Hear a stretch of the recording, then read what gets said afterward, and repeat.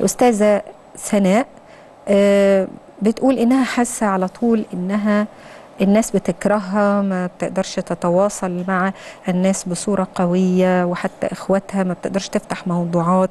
هي ما بتحبش تتكلم آه، كتير.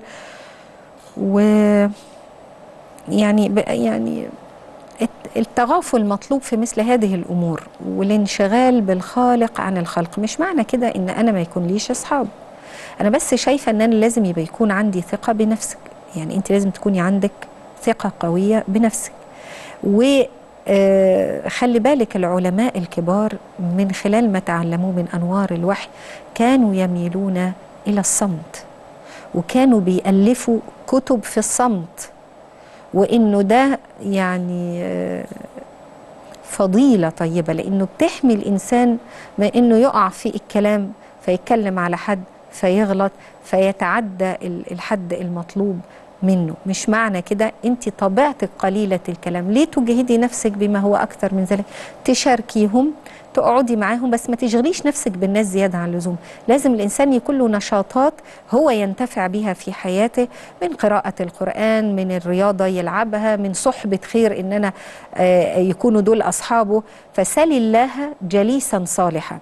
أما لو أنت حاسة إنك محتاجة نوع من الدعم النفسي إني أتكلم مع حد فيقدر ينبهني إلى إزاي إدارة الحوار مع الناس إن أنا أتجنب فكرة أنا فاهمة مضامين بصورة غلط فبضغط على نفسي إن أنا لأ ده أنا مش عارفة أتعامل أصلا ومش عارفة أتواصل مع الناس.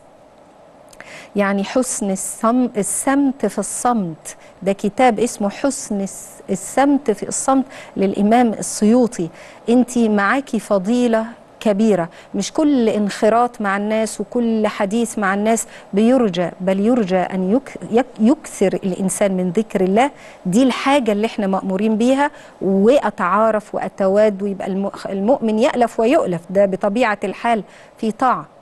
ما نكترش الكلام عمال على بطال. انت طبيعتك كده تقدري تتفاعلي بصور أخرى. لو أنا احتجت دعم نفسي في المسألة لا مانع إن أنا أرجع لحد نفسي يعني إلى المواطن اللي ممكن تنمي قدرات معينة في شخصيتي مش عن طريق العلاج دي عن طريق الحوار وجلسات بتقعدي تتكلمي مع المعالج النفسي بيعين حضرتك وياخد بإيديكي قدر طاقته إلى آه، تنمية بعض المواهب اللي ربما تكون هي مهملة.